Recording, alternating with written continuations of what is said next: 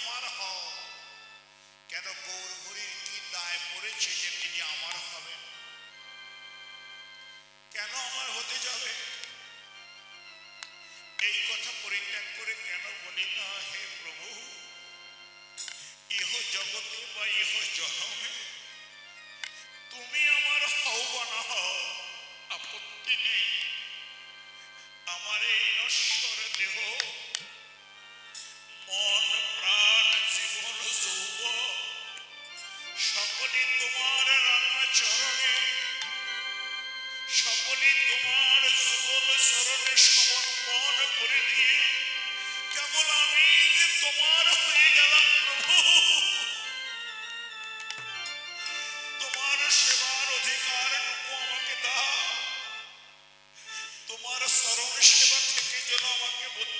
করো না যে ভক্ত বা যে বৈষ্ণব যে কৃষ্ণ ভক্ত মা, এমনই ভাবে গৌরহরিকে নয়নে জলে কেঁদে কেঁদে প্রাণ খুলে বলতে পেরেছে। সেই ভক্তই তোমার গৌর গৌরহরির ওই ভাব কেবল বুঝতে পারে। তাই বৈষ্ণব পদকর্তা আরও কি বললে যে প্রভুর ওই ভাব